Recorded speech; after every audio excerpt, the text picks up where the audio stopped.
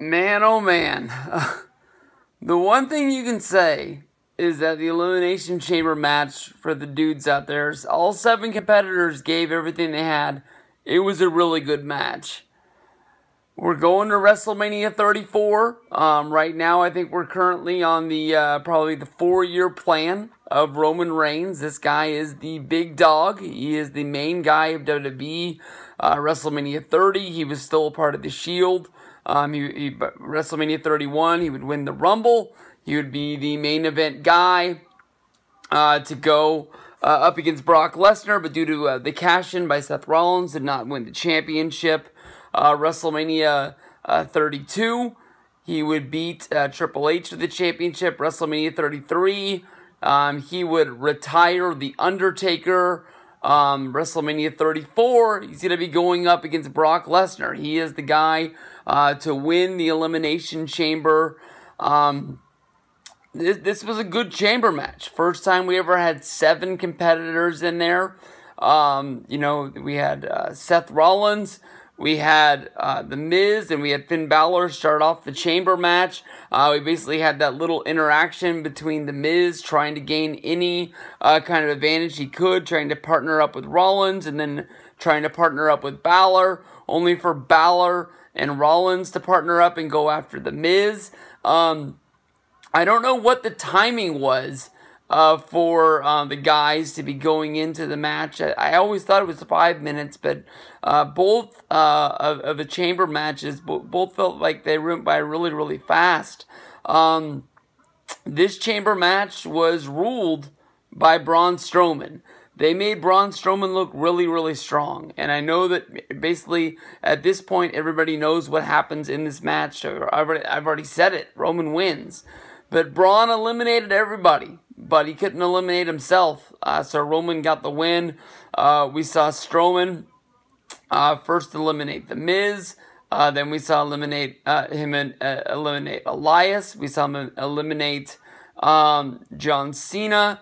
Um, the, a big part of the match was the guys realizing that Braun Strowman was a force that needed to be uh, tackled. We saw the first four-man power bomb, uh, much like the Shield a power bomb, but this one involving everyone in the match picking up Braun Strowman, trying to pin him, not working.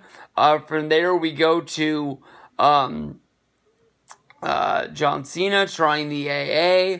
Um, you know, and that wasn't enough to put him down. Um, I don't know how you beat this guy, but I don't know where it goes to. Um, they saved it by at the end of the uh, the match when Roman was celebrating his victory. Braun came and attacked Roman Reigns, even though it seems like both of those guys are baby faces. They're never going to be friends. They're never going to be on the same page. I'm turning off Rosenberg right now. Boom.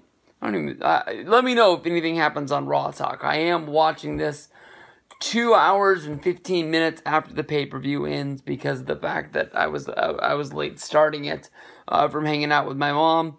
But um, uh, I, don't know what you do with Braun. In, in my opinion, um, Braun Strowman is a guy that honestly WrestleMania could be a bummer to this guy because how many times have we seen people in WWE getting the monster push and then all of a sudden WrestleMania comes around because they aren't in those top 10 competitors of WWE, um, they get put into sort of like a a boring match or they get put in the Andre the Giant Memorial Battle Royal, or they're fighting on the pre-show.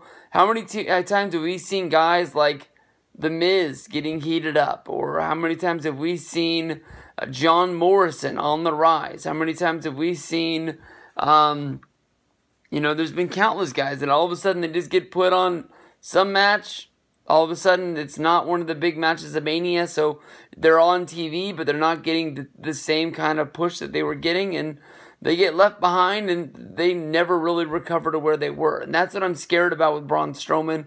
A little bit of a rumor of him tagging with Ronda Rousey.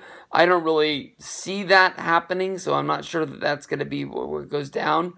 But uh, we're going to see Roman versus Brock yet once again. At WrestleMania 34. Um, you know, after Monday Night Rollins, with him going through, I thought maybe we were going to see that three way.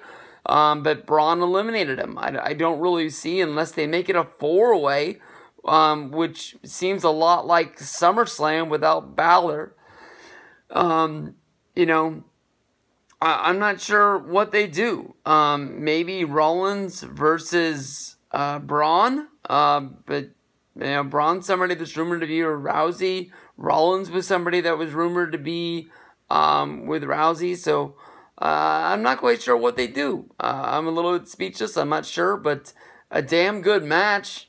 Only, you know, as soon as the fans realized with the Superman punch by Roman Reigns that Roman was going to win again, they sure did turn on it. And you could hear the boos, and people were not happy.